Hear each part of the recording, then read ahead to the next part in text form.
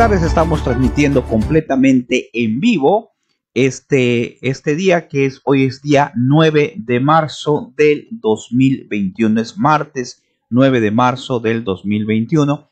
Y bueno, lo vamos a, como siempre, a compartir en el grupo de Supercatólico TV y posteriormente compartirlo en los demás grupos. Bueno, pues seguimos con nuestro curso de Catecismo, Doctrina Cristiana, curso superior del Padre José de Arbe y pues bueno, es un curso que ya hemos mencionado muy interesante. Y ahora mismo estamos viendo desde el día de ayer el tema acerca de los ángeles, pero los ángeles como nos los enseña el magisterio de la iglesia, no como a veces pues en nuevas ideologías o nuevas tendencias o nuevas situaciones nos los quiere presentar de una forma distinta. Bueno, ojalá que sea de tu agrado. Hoy vamos a manejar específicamente el tema del ángel de la guarda, el ángel que tiene cada uno de nosotros. Vamos a comenzar, muy buenas tardes a los que ya se van conectando. Vamos a comenzar, como siempre, rezando, pidiendo al Espíritu Santo que nos ilumine, que nos dé fortaleza, discernimiento para poder entender mejor lo que nos dice este libro y nuestra vida en sí. Y vamos a decir todos, por favor, desde su casa, aunque sea no en directo, o sea, no en vivo, sino diferido, podemos rezar e invocar al Espíritu Santo y decimos, ven Espíritu Santo, Llena los corazones de tus fieles y enciende en ellos el fuego de tu amor. Envía, Señor, tu Espíritu y todo será creado y se renovará la faz de la tierra. Ven Espíritu Santo, ven Espíritu de Dios. Bueno, pues muy buenas tardes. Vamos entonces a continuar con lo que estábamos explicando precisamente y vamos a ver ahora lo que es la pregunta número 95. Hoy es la sesión número o la clase número 19 que corresponde al día de hoy 9 de marzo. Pero para checar esta voy a retomar, si son tan amables, la última que vimos el día de ayer, que fue la número 94. El número 94 decía cómo se llaman los ángeles destinados a proteger a cada hombre en particular. Y el Padre aquí nos contesta, los ángeles destinados a proteger a cada hombre en particular se llaman ángeles custodios o ángeles de la guarda. Y aquí hay una cita bíblica, porque alguien puede decir, ¿dónde está? Bueno, aquí hay una cita bíblica que nos hace referencia y dice, mirad que no despreciéis a alguno de estos pequeñitos, pequeñitos, porque es, les hago saber, os os hago saber, perdón, que sus ángeles en el cielo están siempre viendo la cara de mi Padre Celestial. Eso está en el Evangelio de San Mateo. Y entonces nos hace ver precisamente eso. Aquí les decía ayer, pues hay dos, hay muchas cosas encerradas en esta, en esta cita bíblica. Si analizamos cada palabra, cada cita bíblica, cada capítulo, cada versículo incluso, pues tiene una gran riqueza de la palabra de Dios y nos puede dar, nos puede decir muchísimas cosas. Aquí, por ejemplo, lo está usando el Padre para comentar precisamente de que, este, de que los ángeles nos están cuidando de la existencia de nuestro ángel de la guarda. Pero también podemos enfocarlo a cómo, pues, el aborto en la actualidad, pues, es tan, tan terrible, ¿no? Y por eso aquí menciona, no desprecéis a alguno de estos pequeñitos. Y hay que recordar siempre la fiesta de los ángeles custodios, que es el 2 de octubre. Y también, como decíamos ayer, los santos, como es el caso de Santo Tomás, San Jerónimo, nos hablan acerca precisamente de lo que son nuestros ángeles de la guarda.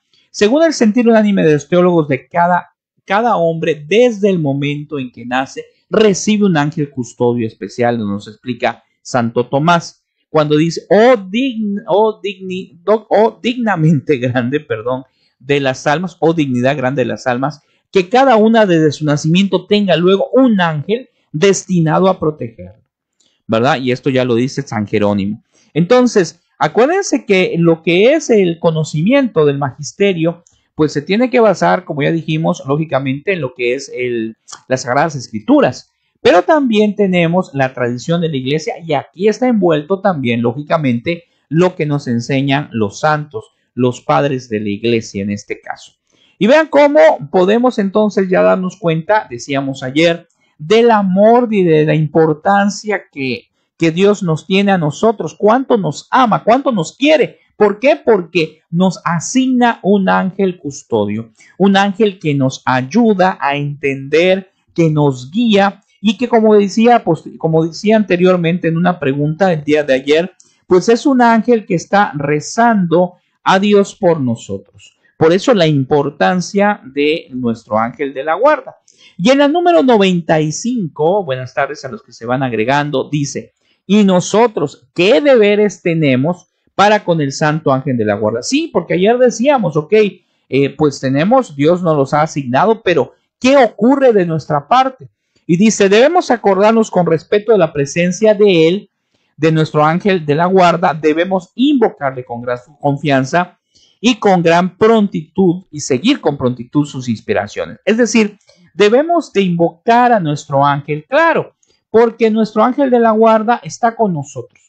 Pero acuérdense que tiene que ser de acuerdo al magisterio. Ya les he comentado, sobre todo en cuanto a esto, que hay ideologías, hay cosas, perdón, que en la actualidad nos pueden revolver. Cuando leía por allá en, por WhatsApp una cadena, que por cierto las cadenas pues, no son adecuadas, pero decía que había que recibir a los ángeles, etcétera. No se tiene que abrir ninguna puerta, como decía esa cadena, porque el ángel es puro espíritu. Entonces hay que tener cuidado. Y también dice que hay que seguir sus inspiraciones. Acuérdense, ya mencionamos que eh, el ángel de la guarda, ¿verdad? Nos va guiando, nos dice lo que debemos de hacer.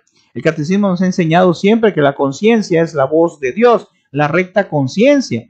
Entonces, esa voz de Dios, cuando eh, no sabemos qué decidir, pues debemos dejarnos guiar por la decisión correcta, por la voz de Dios. Y nuestro ángel, pues como ya dijimos, está pidiendo siempre por nosotros. Y aquí en la otra pregunta, bueno, antes de la pregunta dice, mira que yo enviaré a mi ángel para que te guíe. Ok, entonces es interesante, la palabra menciona varias veces este término.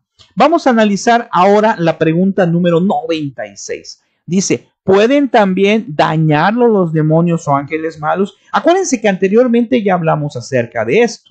Mencionamos acerca de que pues hubo una rivalidad entre los ángeles buenos, una eh, discrepancia de, este, de, de, ideas, de pensamientos. Y bueno, en los ángeles malos querían llegar a ser como Dios, querían tener los mismos conocimientos que Dios. Entonces, como ya explicamos, o como ya explicó el Padre, mejor dicho anteriormente, hubo una separación. Pero aquí viene la pregunta. Así fíjense, como hemos dicho que el ángel de la guarda nos, nos alienta, nos aconseja, pues también la otra parte también hay una cierta, hay algo parecido. Por eso aquí dice, pueden también dañar a los demonios o ángeles malos. Y dice el Padre, lleno de odios para con Dios y de envidia contra nosotros, tratan los ángeles malos de hacernos el mal y sobre todo de inducirnos al pecado para arrojarnos de esta forma o de este modo al infierno. Entonces, así como cuanto alguna situación en concreto que te pase a ti, que no sepas cómo tú o qué es lo que debes de hacer, ¿verdad? A veces nos topamos con ciertas situaciones y no sabemos qué es lo que debemos de hacer y a veces el mal nos puede aconsejar algo, pero nosotros tenemos que estar seguros de hacer la voluntad de Dios. Y ahora me ha pasado algo, yo compré un celular en línea y vean qué interesante, eh, me ponían en, en, lo que es esta empresa, me ponía que el celular iba a atrasarse un poquito y que se iba a atrasar 15 días, etcétera. Y resulta que cuando hago así, me llegó el celular, lo agarré, lo abrí, ya lo empecé a utilizar. De hecho, es este celular que tengo aquí ahorita, ¿verdad? Bueno, ya está un poquito sucito, pero está nuevo. Y entonces, estaba en oferta, ¿eh? Y entonces, ¿qué ocurrió? Pues lo que ocurrió es lo siguiente, que al día de antier me llegó un mensaje de que, ay, te vamos a mandar tu celular, pues, pues si ya me llegó. Entonces yo hablé a la compañía y les dije, saben que ya lo tengo. Pero a veces te ponía uno, me pasaba en la mente y decía, bueno, y si te lo mandan, pues no es culpa tuya, pero decía, no, no es lo correcto. Y entonces ya hice el proceso, ya se dieron cuenta que ya lo habían mandado y ya cancelaron, que fue un error de la, del fabricante que ya lo había enviado. Entonces vean cómo se dan las cosas y tenemos que hacer las cosas que sean agradables a Dios. Cuando nosotros tengamos duda, eso es algo muy personal que yo he analizado, a veces tenemos duda de hacer tal o cual cosa, pues creo que un buen punto es pensar ¿qué haría Dios en mi lugar? ¿Qué haría Jesús en mi lugar? ¿O qué creo yo que, haría, que, que pudiera ser un consejo de Jesús? Entonces, si tengo dudas, pues tengo que analizar lo bueno y lo malo. Tengo que analizar qué es lo bueno y lo malo e irme a escoger lógicamente lo bueno. Y no porque necesariamente me convenga o sea algo que sea muy beneficioso. A veces las cosas que debemos de hacer porque Dios lo manda así, pues a veces no son mucho de nuestro agrado. Pero aquí no es para satisfacer a nosotros mismos o, o al mundo. No, tenemos que hacer las cosas correctas y las cosas que son vistas bien a los ojos de Dios, no a los ojos de la sociedad. Porque una vez lo comentaba en Face, ¿quién es el que nos va a juzgar? No nos va a juzgar la sociedad, nos va a juzgar Dios. ¿Y quién es el que ve todo, aunque, aunque nadie viera, aunque yo pudiera engañar a todo el mundo, incluso a mí mismo? Al que no puedo engañar es a Dios. Y por ello tengo que hacer o tratar de hacer la voluntad de Él siempre. Y esto está relacionado con lo que estamos viendo porque yo debo de tratar de escuchar precisamente la voz de Dios, escuchar los consejos de Dios. ¿Y cómo escucho la voz de Dios? Pues muy sencillo, lo escucho a través de mis pensamientos. Cuando, repito, viene algún pensamiento malo y yo me doy cuenta que no es correcto que yo haga eso, entonces es lo correcto y debo de hacer lo correcto. Pero si por otro lado escucho algo que me está diciendo, no, mira, ¿por qué no lo recibes o por qué no aceptas esto? Total, no fue tu culpa. No, entonces ahí es otra voz y es lo que nos dice acá y tiene como ejemplos Eva, Job, Judas, Jesús, cuando el propio Jesús fue tentado en el desierto, que lo acabamos de ver hace poquito, estamos en este tiempo cuaresmal, pues entonces eso nos debe de hacer pensar y analizar que Jesús también vivió ese proceso con la gran diferencia de que él no cometió ningún pecado. En el caso de nosotros, si cometemos una falta grave, pues ya sabemos que está el sacramento de la confesión. En la número, ah bueno, antes de la número, perdón, nos hace un comentario, dice, mientras nos hallamos en el estado de gracia santificante y por ella permanecemos hijos de Dios, pueden los espíritus malignos tentarnos, pero no inferirnos daño alguno sin especial permiso de nuestro Padre Celestial. Y alguien va a decir, oiga, pero ¿cómo dice, eh, cómo dice aquí el Padre José de Arp en su catecismo que sin permiso del Padre Celestial? Sí, porque Dios permite, Dios no manda la tentación, eso es muy importante. Dios no agarra y dice, vas a ser tentado o cae, no. Dios permite. ¿Y por qué lo permite? Porque nos está viendo nuestra fidelidad, nuestro amor a Él nuestro amor y alcanzar el deseo propiamente de lograr alcanzar un día la salvación. Entonces, sin duda alguna que tenemos que nosotros apegarnos siempre a lo que consideremos que es lo correcto. Lo correcto, repito, a los, ojos, a los ojos de Dios. Y un ejemplo nos puede venir aquí muy claro, como Job, que ya lo he mencionado varias veces, ¿verdad? Job, a pesar de que le iba mal y todo esto, le empezó a ir mal, porque acuérdate si has leído la historia de Job, pues al principio el demonio le dijo, le dijo a Dios, oye, y si lo, y si, y si, y si pasan cosas distintas, o sea, Job está muy contento, muy feliz, pero es porque tú le has dado todo. Pero si le quitas algo que va a pasar y Dios le dice, quita, quítale las cosas, pero él no lo toques. ¿Sí? Entonces es muy interesante. Dice, adquiere gran poder sobre nosotros desde el momento en que voluntariamente nos hacemos esclavos suyos, cometiendo un pecado mortal. Esto es importantísimo. Mientras nosotros estamos en la lucha, esto es que estamos en la tentación, que nos puede venir un mal pensamiento, nos puede venir este algún mal deseo, etcétera. Pero nosotros debemos de luchar con eso. ¿Y cómo? Me acuerdo un padre que ya falleció hace muchos años, cuando yo era joven, no hay que sacar cuentas, eh, me decía a mí, porque yo le decía, padre, viene algunos, algunas tentaciones, etc. Y me decía, haz de cuenta que es una mosca, que la tentación es una mosca y nada más la empujas, la haces al lado y no le prestas atención. Pues a mí no me ayudó mucho al principio, pero después me hizo entender que sí, lo podemos ver así, a lo mejor te ayuda a ti desde el principio.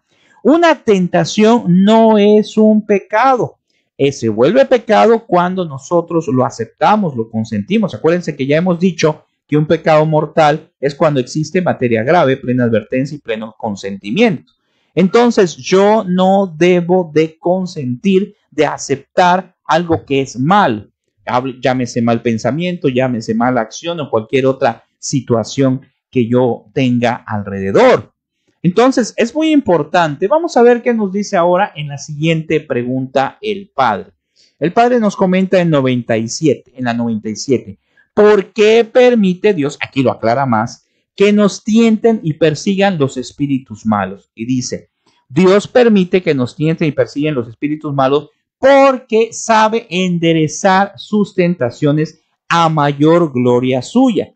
O sea, sabe enderezar lo que son las tentaciones para gloria de Él y al bien de los mismos hombres. Entonces, aquí pueden, podemos pensar, y bueno, ¿y cómo es posible que de una tentación yo pueda alcanzar algo bueno? O sea, suena, suena medio extraño, pero vamos a tratar de analizarlo. Lo que ocurre es que cuando yo venzo una tentación, me estoy fortaleciendo. Estoy fortaleciendo mi espíritu. Y hay algo curioso que decía una vez el padre hace poquito en una homilía que escuché un padre, nos comentaba en la homilía que generalmente vamos a ser tentados en los mismos en las mismas situaciones. ¿Por qué? Porque el demonio sabe precisamente en qué temas o en qué cosas podríamos caer. Y ahí está perjudicando, perjudicando, perjudicando. Entonces, hay una razón.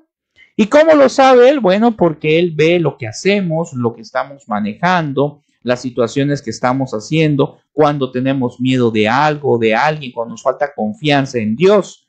Entonces, está al pendiente, sí, por ahí se le compara, dice, hay un padre que decía, es como un perro rabioso que está amarrado. Entonces, mientras esté amarrado, pues solamente va a ladrar. Pero si yo le permito entrar, entonces no solo va a ladrar, sino que va a querer morderme, o sea, va a querer atacarme. Estoy hablando en un sentido figurado, pero es para que podamos entender que mientras yo no quiera consentir, yo no quiera que esas tentaciones entren en mí o sean causa de pecado, pues entonces lo puedo evitar y lo debo de evitar, evitar. Pero en el momento en que ya haya quedado así o que haya yo caído en el pecado, sobre todo mortal, pues ya sabemos cuál es la solución. Buscar precisamente lo que es el sacramento de la confesión, que acuérdense que no es el Padre, es eh, el Padre es un instrumento, es Dios quien perdona nuestros pecados, porque está en la Biblia. Eso lo vamos a ver más adelante, porque alguien algunos hermanos de, de otras denominaciones, pero es que como, o a veces hasta algún por ahí, algún católico, pero ¿cómo me voy a confesar con un pecador? Ojo, no te estás confesando con un pecador, es un instrumento, en realidad quien está, quien está perdonando los pecados no es el sacerdote propiamente, es Dios, es Dios el quien lo está perdonando y está bíblicamente cuando dijo a los apóstoles, id y, perdón, y, perdonar sus pecados, a los que perdonen perdonados quedarán así, y a los que no, no, lo que aten aquí en la tierra quedará atado en el cielo. Entonces hay un recurso bíblico que explica claramente este sacramento. Y en esta también nos dice, bienaventurados del cielo deben ser más hermosos, coronas a las luchas que con la gracia de Dios sostuvieron con los espíritus malignos. O sea, la bienaventuranza del cielo, pensemos siempre cuando tengamos una tentación el gran significado que va a haber al poderla vencer, porque vamos a poder haber vencido esa tentación y eso nos acerca a Dios, nos acerca un día a que nos encontremos en su presencia. Entonces, por eso vale la pena vencer las tentaciones. Y las tentaciones no es, tristemente, no es que yo diga, ah, hoy ya vencí una tentación que me pasó y este, ya con eso ya cubrí el día, ya cubrí mañana, pasado la semana. No, las tentaciones llegan a diario, pueden llegar a diario, en diferentes situaciones, en mi trabajo, con mi familia, la tentación de molestarme eh, en contra de alguien, la tentación a lo mejor de, de ofender a alguien, ¿verdad? Por alguna situación que pasó. Y todo eso lo tenemos que nosotros eh, transformar en cosas buenas, ¿verdad? Porque Dios nos ha dado esa capacidad para poder tranquilizarnos. Había por allá antes en la televisión, aquí a donde, aquí en México, ponían uno de que antes que te molestaras contaras hasta 10. Bueno, esto no es algo de, de, fe, pero pues es algo humano que también nos puede servir, es un ejemplo. Si yo mi tentación es que yo me moleste rápido con X persona, con mi familia, etcétera, pues debo de tratar de calmarme, de estar tranquilo, de pensar en Dios y pensar, como decimos aquí, en la importancia que tiene conservar la gracia, no caer en un pecado. ¿Qué tal si esto ya se vuelve una cosa terrible? Me molesto, empiezo a tirar cosas y empiezo a ofender y entonces ya se vuelve algo que claro puede ser parte ya de una falta grave, ¿verdad? Acuérdense que hay que ver la intención y hay que ver la gravedad de la situación. Eso lo vamos a ver también más adelante cuando chequemos lo que son los pecados actuales. Pero bueno, aquí hay otras cosas muy interesantes que tenemos que analizar. Vamos a ver ahora la pregunta 98. Ya vamos casi casi a terminar. Dice la 98, ¿cómo debemos armarnos contra las acechanzas del demonio? Bueno, aquí viene algo que es muy importante. Cada uno de nosotros tendrá su forma para vencer las tentaciones. A veces la, para vencer la tentación consiste en rezar. A veces para vencer la tentación, como dije hace rato, es como que fuera una, una mosca que hay por acá cerca y la mando a un lado, no le hago caso. Lo importante es no caer, no importa el proceso, pero lo importante es no caer. Claro, para no caer, pues tengo que hacer cosas buenas. Dice, para armarnos contra las acechanzas del demonio debemos velar y orar, resistir con valor a las tentaciones tan pronto como nos acometan. ¿Qué es lo que ocurre? Que a veces eh, puede pasar que viene una tentación, ¿verdad? A lo mejor eh, un mal pensamiento, algo que quede en, nuestro, en nosotros, y pues eh, no le damos importancia, está bien para tratar de olvidarlo, pero sigue insistiendo la tentación. Y entonces no hacemos algo en concreto para quitarlo. Una cosa puede ser, a lo mejor que yo me distraigo, ¿verdad? Si me empieza mi mente a pensar cosas incorrectas, sí. Ahora que está tanta tecnología que está en el Face, bueno, en el Face yo, siempre trato de agregar a personas que veo que ponen cosas de iglesia, católicas, y cuando ponen a alguien que pone fotos eh, incorrectas, ¿verdad? A lo mejor de personas eh, con poca ropa, etcétera, pues tengo que quitarlo. Y eso no es para, para agarrar y decir, ay, qué bueno, no, es porque es mi obligación hacerlo. ¿Por qué? Porque tengo que quitar a esas personas porque no son personas que me van a ayudar en el crecimiento.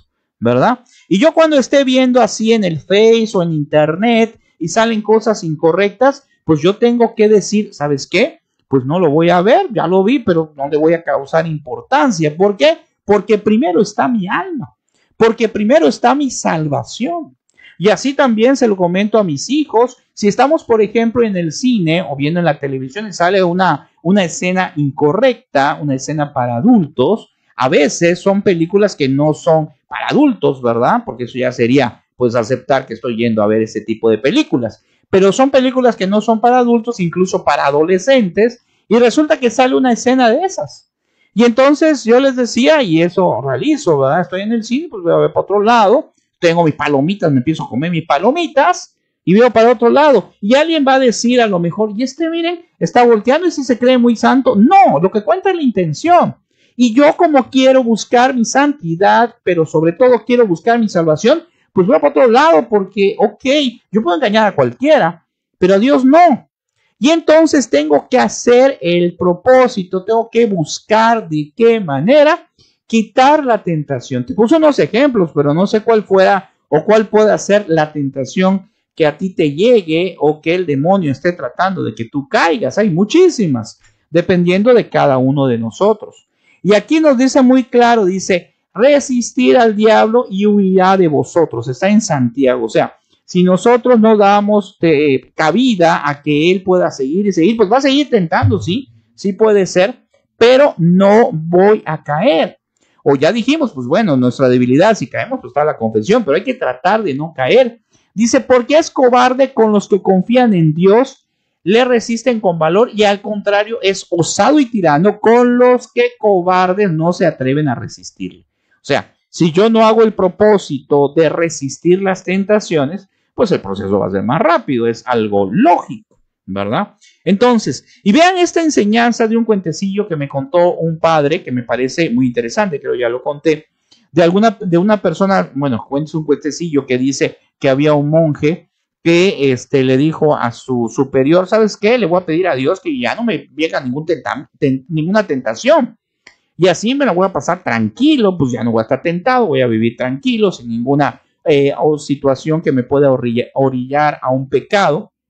Y entonces se fue y regresa y le dice, ya, ya me siento mejor, ya no tengo tentaciones. Y le dice el superior, no, regresa y no le digas que no te quite las tentaciones, dile que te ayude a vencerlas, pero que no te las quite. Y le dice, pero ¿por qué? Porque vas a tener una tentación más grande donde vas a caer, que es que vas a creerte superior, porque tú no eres tentado. Y esa es una tentación mucho mayor, creerme más y más y más y creer que yo tengo privilegios especiales. No, todos somos iguales ante los ojos de Dios. No tenemos ningún privilegio, pero sí podemos nosotros luchar de manera especial tomando en cuenta, yo creo que un principio fundamental para luchar contra la tentación es saber de manera plena y completa que tanto me ama Dios que yo no lo quiero ofender.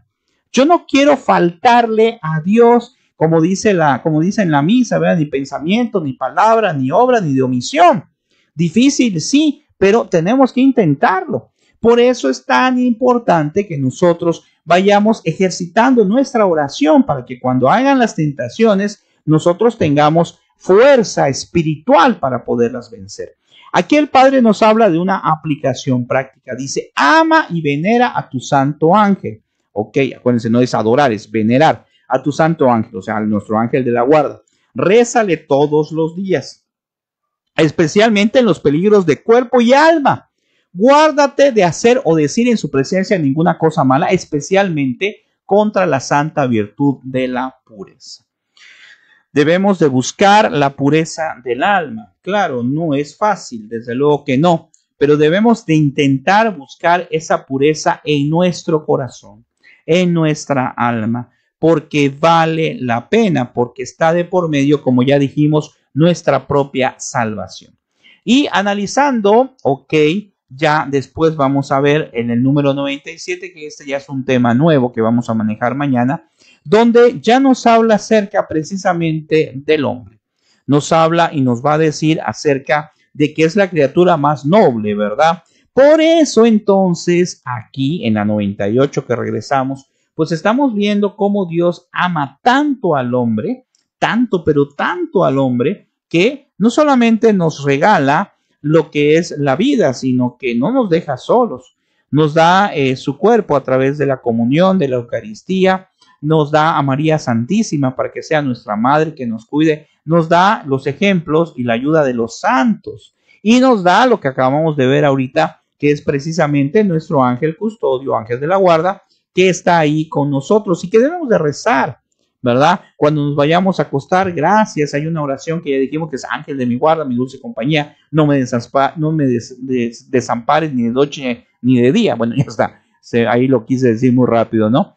Y entonces lo puedo buscar en internet o simple y sencillamente rezar y decir, ángel de mi guarda, ayúdame para luchar contra las tentaciones y para este, honrar a Dios con nuestra vida, con las cosas que hacemos. Entonces, es platicar igual que como platicamos con Dios, es platicar igual que como platicamos con María Santísima, con algún santo, porque es una plática. Aunque aparentemente pues no estamos escuchando, ¿verdad? No estamos escuchando eh, la voz de, nuestro ángel ni nada y no tenemos que, que inventar cosas, repito, que a veces de la nueva era o cosas que no son. No, eso simplemente hacer una oración. Pedir la intercesión de nuestro ángel para que nuestra vida pueda estar más apegada a Dios, ¿verdad? Bueno, pues esperemos que esto te haya servido y ojalá pues que lo compartas con otras personas a través de las redes sociales y siempre todo lo que nosotros digamos, veamos, analicemos, checar que esté de acuerdo al magisterio de la iglesia, de acuerdo al catecismo, a lo que Dios nos, nos enseña. Bueno, les comento que ya es hoy es último día para inscribirse en el curso que voy a dar este fin de semana, completamente gratis, pero que lo hago en un Face aparte que se llama Gabriel Esteban Docente Catequista, que es para poder interactuar con los catequistas de manera ya un poquito más personalizada. Creo que ya hay como 50 o 60 inscritos. Hoy es el último día de inscripción. Si alguien está interesado, pues puede localizar lo que es el, canal, lo que es el grupo de Supercatólico TV en la parte de comunicados. Ahí está para llenar el formato y la ficha de inscripción. Hoy sí ya es su último día porque hay que tener un orden y a partir del jueves pues ya empiezo a dar de alta en el Face a los que manden solicitud a ese Face para darles el curso el fin de semana. Que el Señor les bendiga y gracias por este tiempo. Ojalá lo compartan. Nos vemos mañana precisamente con la continuación. Como ya dijimos, mañana vamos a ver acerca ya del hombre, ¿verdad? La criatura que Dios ama y que ha puesto en este mundo. Que pases una excelente tarde, Dios te bendiga y nos vemos. Gracias por tu tiempo.